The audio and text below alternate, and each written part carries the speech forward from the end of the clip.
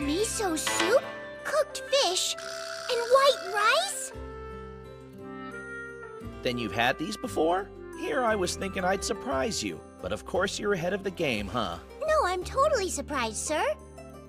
Did you happen to get this miso from somewhere nearby? Yep, things like miso, mirin, vinegar, and soy sauce are all local commodities. Did you say soy sauce? Um, please calm down, Mr. Ryoma.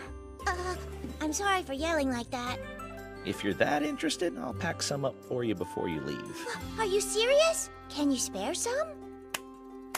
Yes, we can. Now stop with the chit-chat. It's dinner time, so hurry up and eat this yummy food before it gets cold. Plus, you've been talking all day. There's a time to dish and a time to dine. Fair enough.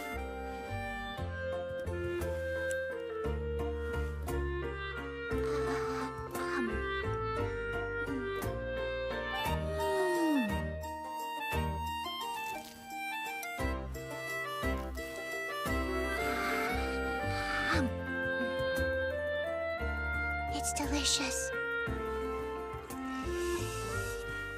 So many memories. Did you live in Dragon Newt Village or something? I don't see how else you'd be so nostalgic about these flavors unless you did. Oh, um, my grandma would make this stuff for me when I was really little. That's how. What'd you get so flustered for? No shame in enjoying what you like.